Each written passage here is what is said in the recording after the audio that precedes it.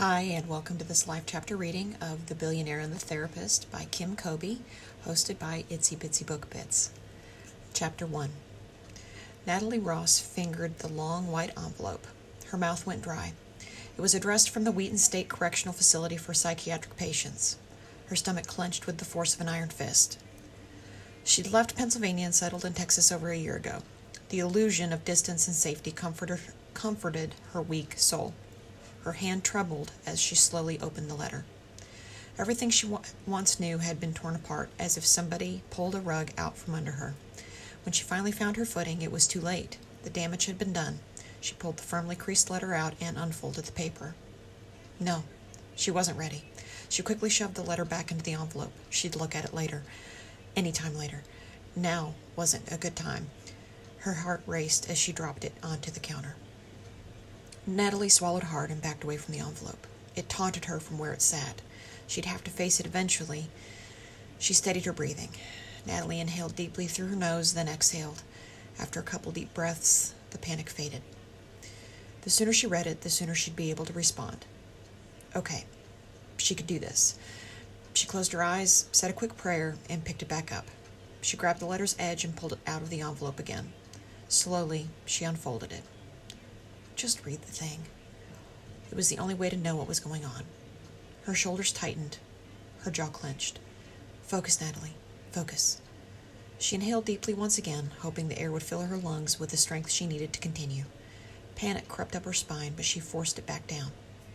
You've got this. The self talk helped her move forward, but it was only reliable when it wanted to be. Her eyes glazed over as she read, the letter.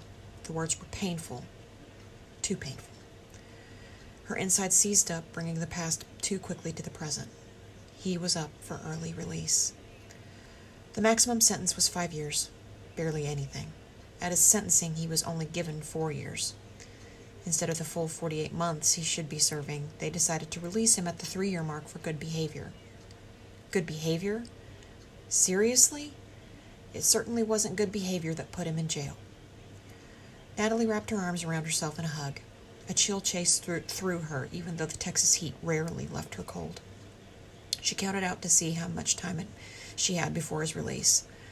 Being halfway across the country seemed far enough last year, but now she wasn't so sure.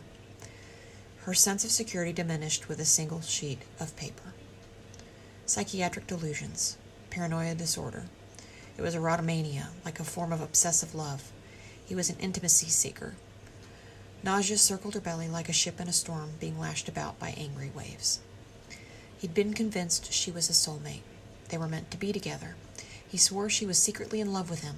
He believed she routinely sent him, sent him messages through license plates from passing cars or telepathically. Henry Russell forever changed Natalie's world. It started with phone calls, then letters. He showed up at her house and work. His aggressive stalking grew more dangerous with each passing day. He swore they'd be together, no matter what. Their paths crossed the first time at work. He'd been a patient. Natalie was a speech therapist. When their sessions expired, he couldn't say goodbye. He realized during their time together that she was his soulmate. It didn't matter that she'd never expressed feelings for him. He knew. He could feel it, sense it, and knew enough for them both. Henry lived in a state of delusion. When she refused to declare her love for him, he grew angry. Natalie shivered at the memory. She tried to put distance between them, but it only egged him on. He pressed for more therapy sessions, more time together, but again she refused. He'd crossed the line. He demanded she admit her love and got physical when she wouldn't play along. The terrifying experience was ever present in her mind. Everything flashed back like a bad nightmare.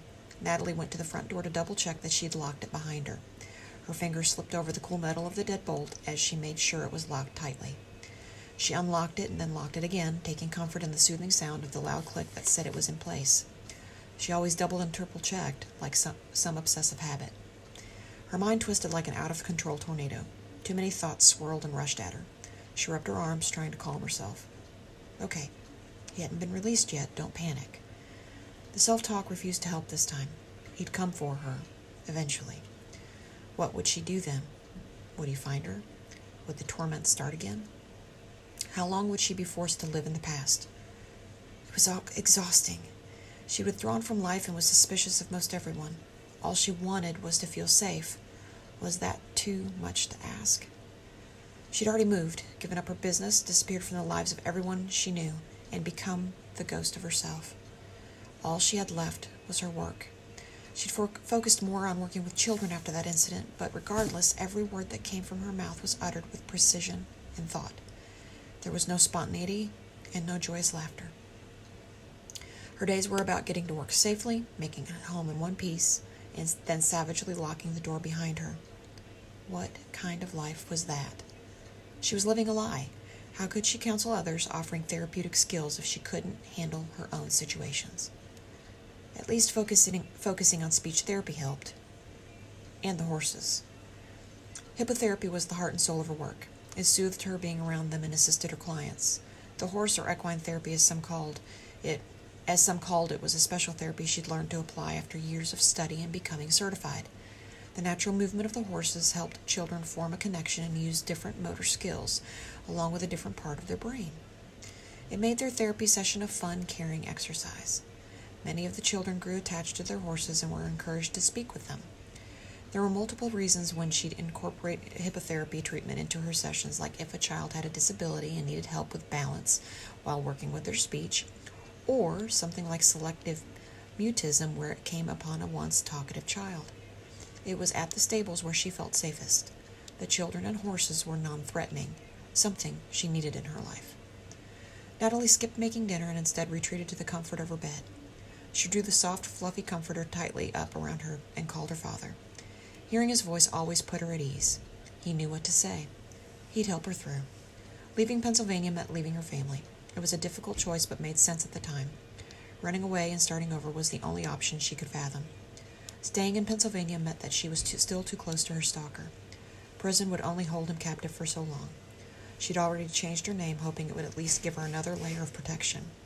Her family and lawyer were aware of her new identity, but to the rest of the world, she'd simply disappeared. Carrie Fowler was no more. Natalie Ross grew out of need, not want.